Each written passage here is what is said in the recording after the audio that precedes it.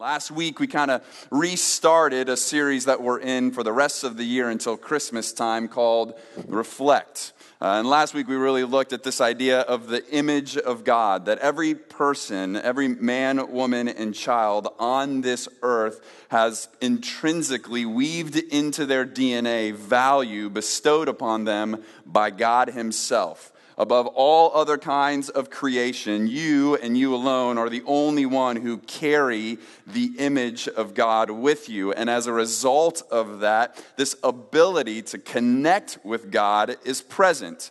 To really kind of slow down, especially in a world that's so fast paced, to really be able to just slow down and think about, ponder on, or perhaps reflect on who God is. We serve a generous and good God. And my fear is so often that we just kind of like, uh, uh, you know, kind of like speak in Christianese and say some things that we've heard for a long time and then very quickly move on. And so part of my hope this, this series is that we will, as a community, like just breathe for a second and slow down and reflect on how generous our God is. But then the other part of this notion of being made in the image of God is as a result, we have this ability to reflect whose image we've been made towards our community. And we do that in lots of fun ways. L- uh, listen, cards on the table. We want to host a great trunk or treat at the fall festival because we want to proclaim to the city of Meadows Place a God who values community, a God who created laughter and joy, a God who created most candy except for that candy corn. That stuff, there's no way. That stuff is nasty. It's not from God. But most candy from I just, okay, I lost like half of you there. Candy corn fans, really? What? If I like, if I was like, Jesus is coming back, I would have gotten this. But candy corn, woo! Okay, good to know. I'll keep, I'm gonna, yeah, I'm going to file that away. Candy corn fans. Uh, we want to reflect who our God is, both within the community, within the church, and then outside of it as well. Who, who would want to take this generous God who's loving and full of grace and mercy and shows compassion and then hoard it for themselves? And so, as those made in the image of God, we have this opportunity to reflect who he is. And so, for the next several pairings of weeks, we will do kind of an A B thing where we'll reflect on how God has been generous towards us. And then the following week, we'll take that same characteristic and say, so what would that look like within our community? How could we then reflect that? And this morning, it's on this idea of a generous pursuit. Just to remind you of a quote we read last week on what it means to be made in the image of God. Here's a quote that we read To be an image of God, it's not just about the fact that a close connection is present, it also implies that the image shows something about what it images. The basic idea here is that God has a likeness image and God has created people with that in view. It's a standard for what, for what God intends humanity ultimately to be. It is the goal towards which humanity is to develop. But as the New Testament clarifies, sin prevents people from developing as God intends. In fact, it damages people so badly they are much farther from God's standard after their fall into sin than before it. And we, we looked at this beautiful picture in Genesis 1 of a God who creates everything and says it's good, including man and woman, and they have peace between them. They have peace with creation, they have peace with God, and then sin. It, it, it, interrupts this peace. It breaks this peace. And it takes what God has created. It takes the abilities that God has given man and woman and it runs them away from their creator. It runs them away from the one in whose image they have been made. Now, hang on to that image for a second. And we, we already determined there are some candy corn fans and not some candy corn fans. There, uh, there are also two kinds of people in this world There are the kind of people in this world who um, really like stuff. And I don't mean like materialistic. I'm not trying to judge you or anything. I mean like like you like to arrange things in your house and you like really value collections and like you know there's 10 of these things in this collection set and you have 9 of them and you're excited about getting the 10th one. And then there's person 2 who approaches person 1 and says, "Can I see your collection? Oh, this is beautiful." And then throws it in the trash because stuff is ultimately meant to be thrown away. Are you a person one or person two? In fact, turn to your neighbor and just ask them, are you person one or person two? Do you like, are you like a stuffed person, a hoarder? That'd be, a, that's, that's mean. Don't ask them if they're a hoarder, but, or are you like a person like loves to throw stuff away? Just throw it away. You're all alone. Which one, person one or two? Two? Oh, both? You're a both and? That's okay. All right, good. Um, now, listen, one of our core values here at Sugar Grove Church of Christ is we believe that uh, we serve a God who's into the business of transformation. He transforms hearts. His grace is so good that He loves you exactly where you are, but His grace is also so good that it compels you to move on from where you are into better things. And so I stand before you, a former person one, whose heart has been transformed into the way it should be, which is to be a person two.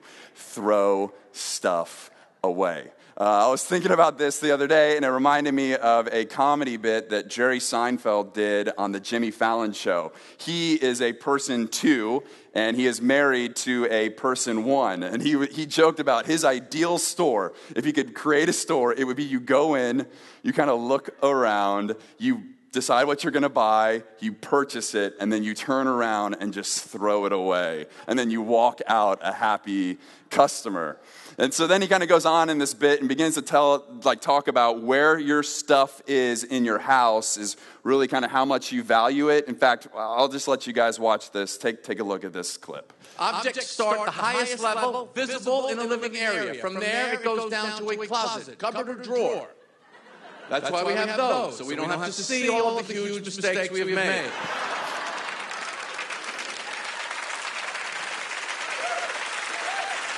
the way it is.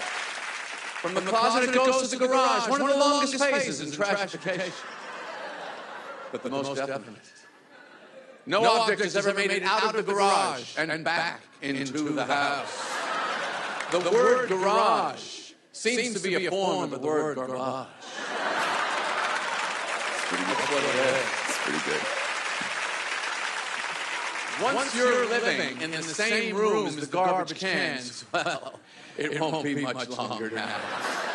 really, eBay is the only thing that can save the object at this point. eBay, made another great step forward in human culture. Hey, why don't we mail our garbage back and forth to each other?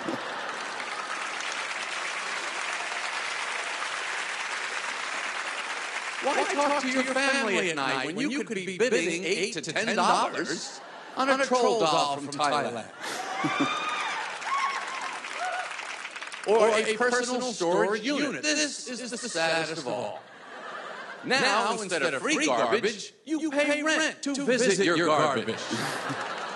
Everything's locked up, everything's rusted and broken. You gotta bust into that lock, you lift up that rolling steel door. Look, I'm trying to get you guys out of here, okay? If there's no place for you in the world, I'm looking, I'm working on it. I will, be, back, back to see you again soon.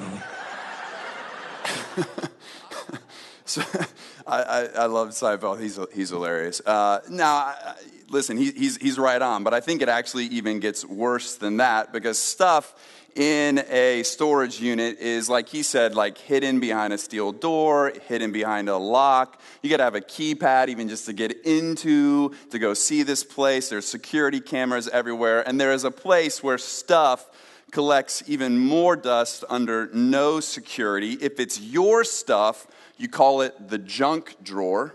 Do you have a junk drawer in your house? Do you have two or three or four junk drawers in your house? And if it's not your stuff, we call it the lost and found. Have you seen these lost and found boxes? They are under no security. They are under no watchful eye. Why? Because we all know that the stuff in there has no value whatsoever. It's something that someone did not remember they were forgetting. And then when they did remember, if they have it all, it was too far removed from losing it that they thought, I just don't have the time to go back and get it. In fact, most lost and found boxes have some kind of fine print on it that's like after 30 days or at the end of the month or at the end of the year, we will throw away everything in the lost and found because not only does it not have any value, not only is it not wanted, we don't want it either. We've looked around, we know eBay exists, and we've decided the trash is the best place for the lost and found items in this box. Uh, this word lost, we kind of know it to be true. This, it carries this idea of unwanted, unloved, unclaimed. Or even if you take the word lost and you, you like use it in a sense of direction, we don't really like to use that word either because then you just feel stupid. You have to say to someone, if you're saying that you're lost, I'm on the world and I need to go somewhere. I don't know how to get there. Could you help? And no one likes to ask for help, and no one really likes to admit that they don't know where they're going. And so, this term lost, this idea of lost, carries with it some weighty things. And if you think about back to the quote that we read a little while ago, if I said to you that sin pulls us away from God, if sin pulls us away from his design for those who have been made in the image of God, you understand a little bit why we sometimes use this word to describe people who do not yet know Christ, that they are lost. Or in, if you hear someone's testimony, they would say they are lost. And my fear is that we take the, the notion of unwanted and unloved and stupid and forgotten and attach those adjectives about lost to people who are lost. And I'm here to tell you this morning, I have the great privilege of just reading out of Luke 15 this beautiful, beautiful three word, simple truth about our God. Lost means loved. Lost means loved. It does not mean unwanted. It does not mean unclaimed. It means loved, for we have a God who generously pursues those who are lost. And so I'd like for us to read about that this morning in Luke 15. So if you turned there a little while ago, very good. We're going to start at the very beginning of Luke 15. And here's what I told you you're going to have to read this morning. If whoever you talk to uh, about, if you're person one or person two, I want you guys to group up again and read these verses on the screen. Or if you got your translation, you can read it. But all throughout the room, everybody read these first couple of verses in Luke chapter 15. Ready, go.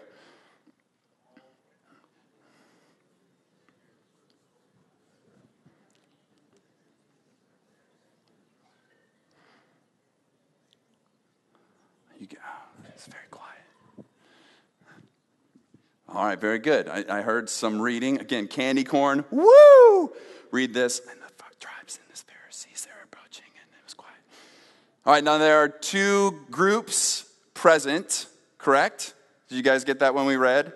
There are tax collectors and sinners and we would describe these as the lost, right? You got tax collectors, those who are on behalf of the government that is oppressing your people, collecting your money to further support the oppression of your people. And then we've got sinners. These are lost, unwanted, unloved, unclaimed, nobody wants to do with them people. And then we have another group of people present with us this morning. We have the Pharisees and the scribes, the religious people. And what are they doing?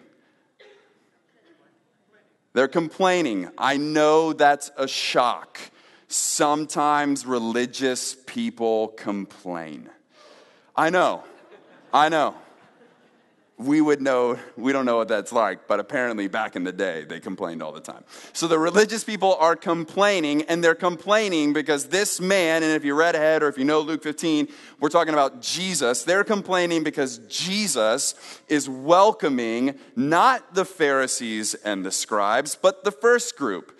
Jesus is welcoming and eating with the unlovable, unclaimed, unwanted tax collectors and sinners and the religious people have nothing to do with it. Why? Because Jesus has showed up saying that he is the Son of God. Jesus has showed up saying, You want to know what God looks like? I am the image of God. I haven't been made in the image of God. I am the image of God. And the religious people are going, Then no.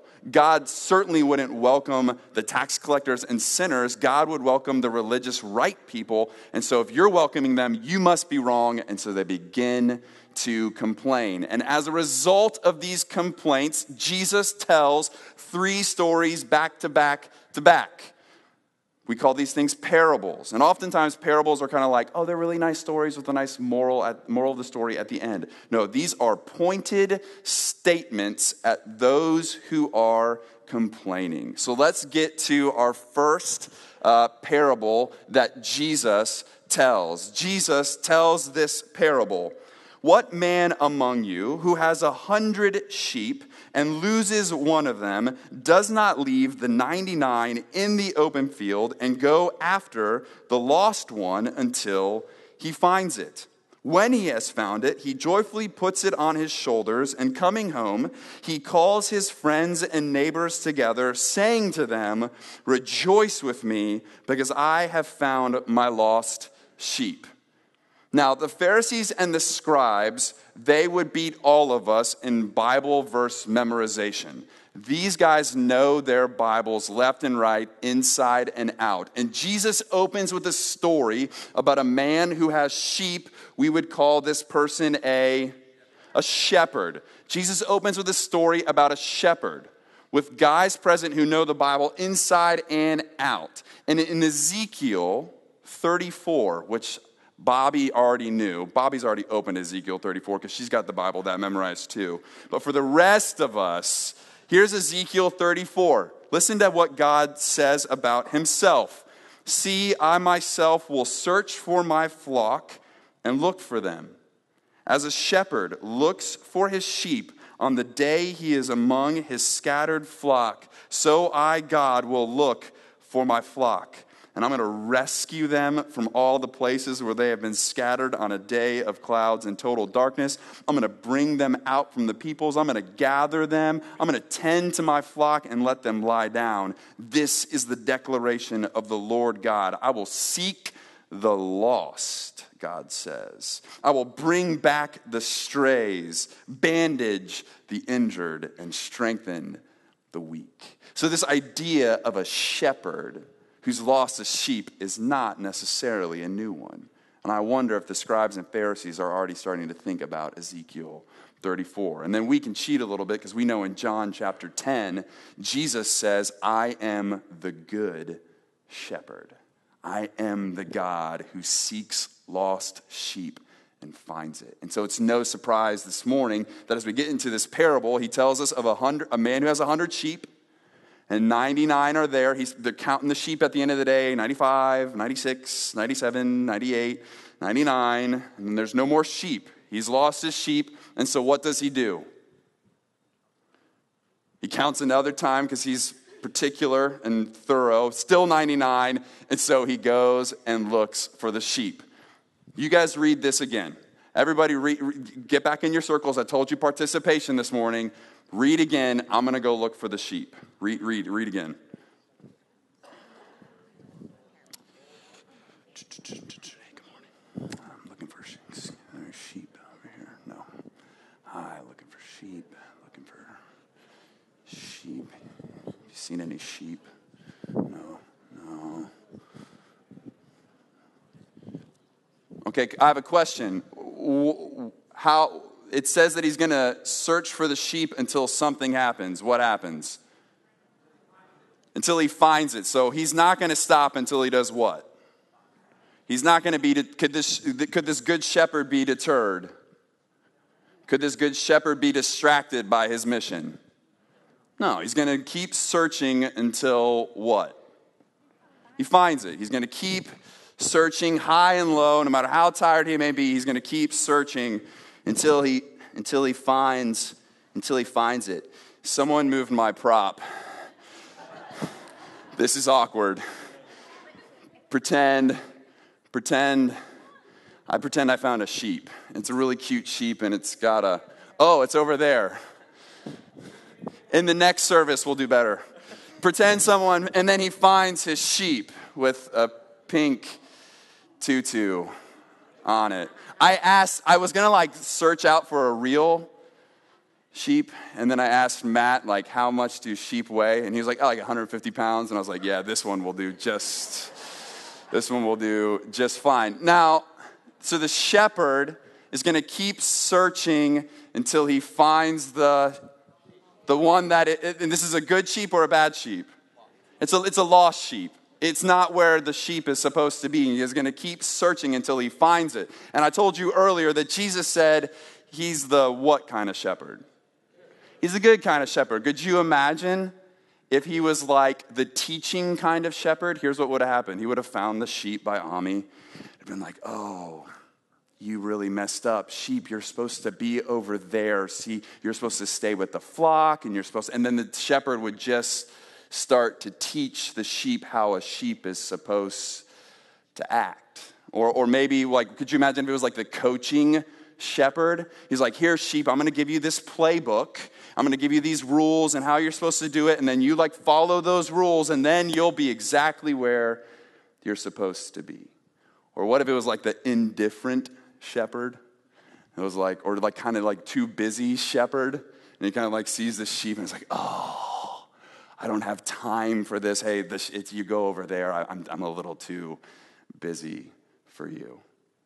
What if it's like the parenting shepherd? Parents in the room, you know, you know, kids aren't where they're supposed to be. How many times have I told you not to go? You're not supposed to be over there. Shame on you, spanking, and then you drag the kid, I mean sheep, into where they're supposed to be. But it's not the indifferent shepherd. It's not the busy shepherd. It's not the teaching shepherd. What if it was like the activist shepherd? We're really good at this kind of shepherding in 2017. There are sheep out there who are lost. Let's start a hashtag. Hashtag lost sheep go home. oh, this is bad. I wish this wouldn't have popped in my head, but it did. Hashtag bad sheep and let's get like a, like a picket sign and let's start picketing the bad sheep that are lost. Return home sheep. Return home sheep. Is that the shepherd that shows up? No, it's the good shepherd and why is it really, really good news that it's the good shepherd? Because the teaching shepherd and the coaching shepherd, the activist shepherd, the, the indifferent and busy shepherd, all these shepherds, it's on the sheep to get back home. It's all of them saying, It's on you, you go. It's up to you, you go. And the sheep will never get where it's supposed to. The sheep is in need of a good shepherd with a steady hand who reaches out and grabs the 150 pound sheep with the pink tutu and puts it on its shoulders and walks it back home. We are in desperate need of a good shepherd who puts us on his shoulders and walks us back home because we're incapable of getting there on our own. And did you notice how the shepherd walks back? What, is, what has he got on his face? He's got like a smile on his face. He's filled with joy, and immediately he's home. Immediately he's home. I love this quote from Charles Spurgeon. Listen to what he has to say about the hand of our shepherd. When the divine hand, which fixed the foundations of the earth, had fixed itself on me, my wanderings were ended once for all. He is the good shepherd who does not start to teach or coach or condemn or picket sign or you got that. No, he reaches down by his strong hand. He grabs you, puts you on his shoulders because he's going to walk you back home. And when he does this, filled with joy, he tells all his friends, they throw a party, they rejoice, and then Jesus follows it up with this statement I tell you, in the same way there's going to be even more joy in heaven over one sinner who repents than over the 99 righteous people who don't need repentance. Have you ever been in like a big crowd where like rejoicing takes place? Have you ever been in like a big crowd where like they just start cheering and then cheering even more and then standing ovation and they just go crazy? It changes the atmosphere. Like it's tangible. You can like feel it. And Jesus says there's the shepherd who lost his sheep. He goes and finds it because he knows exactly where to look for the sheep. He reaches out by his strong and good hand. He puts the sheep on his shoulder. He throws a party, they celebrate, and that party ain't got nothing on what's going on in heaven when a sinner repents. Whew, a gracious God who pursues. So he continues. He tells another parable. Read this parable with your friends. Read this parable with your friends.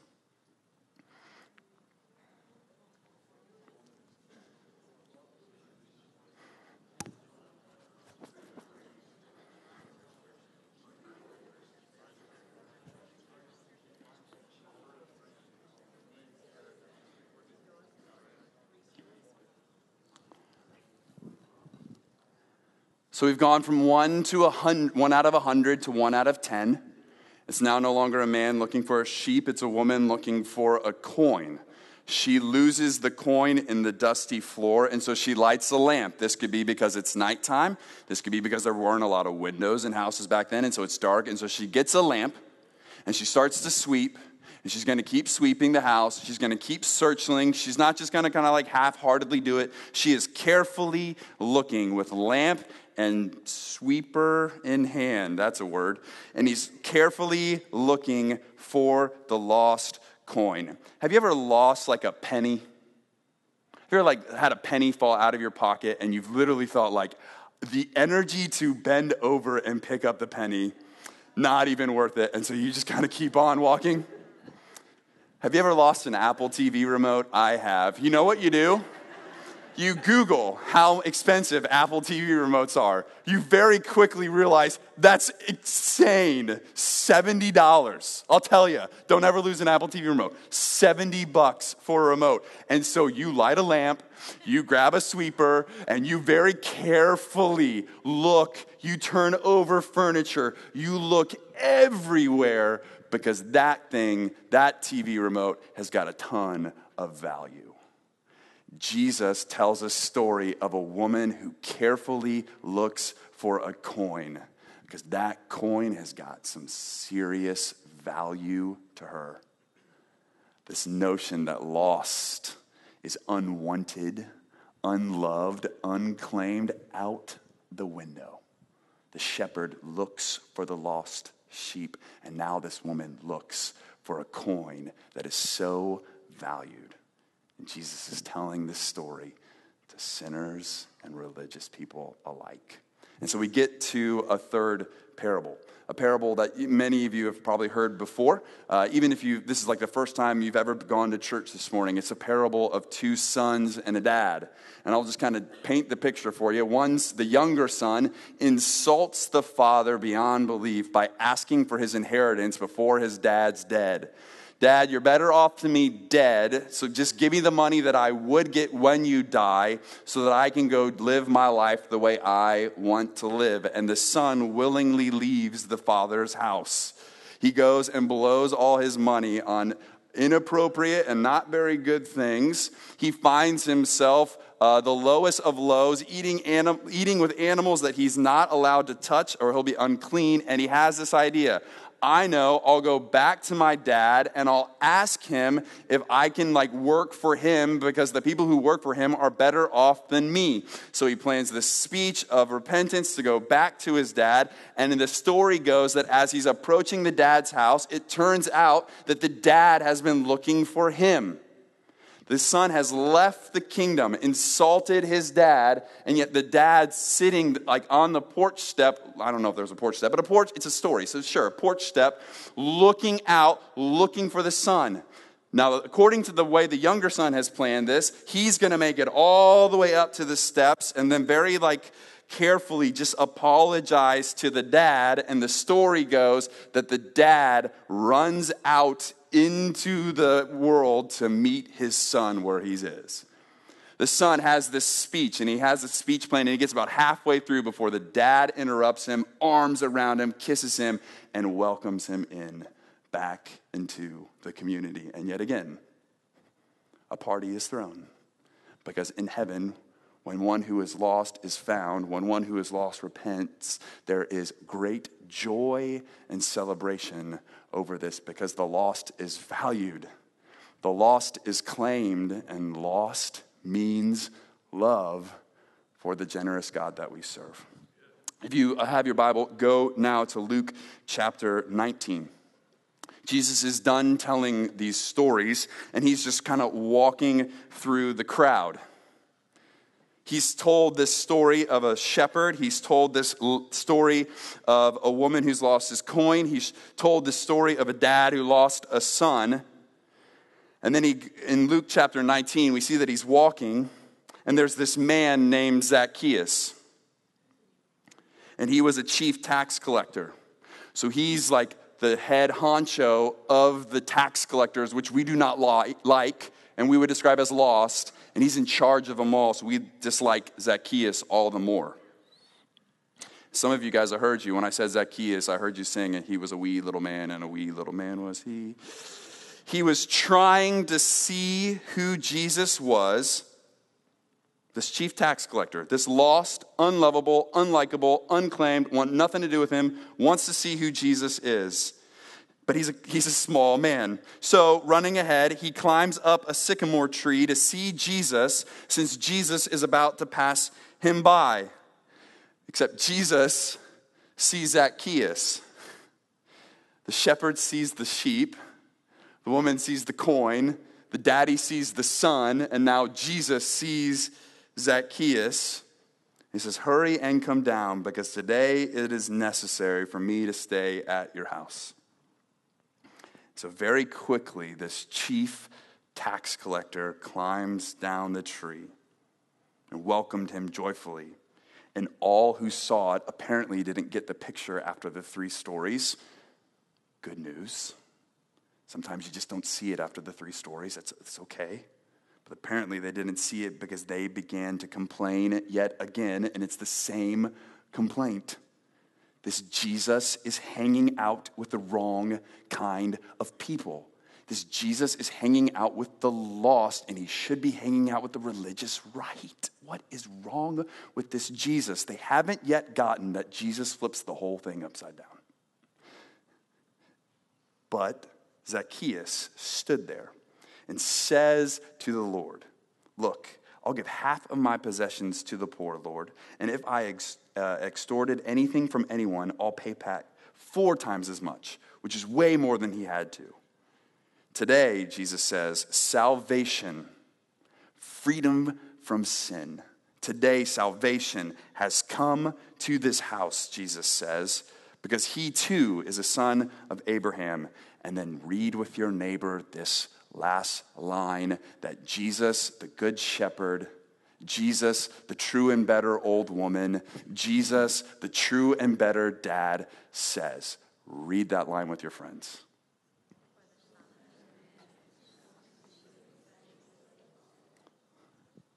He has come to go find the sheep. His whole purpose here is to find the coin. His whole purpose here is to welcome the lost son back in. He is so generous in his pursuit of you and me. My prayer this morning has been that if you are a Christian, if you know this Jesus, then these stories of a lost sheep and a lost coin and a lost son would remind you of the God that pursued you. And if this morning you do not yet know the Jesus whose steady hand reaches out and puts you on his shoulders and walks you home, my prayer has been that God would reveal that to you, that your heart would know that, that you would see that in a brand new way this morning. may we all see the Son of Man who came to seek and save the lost.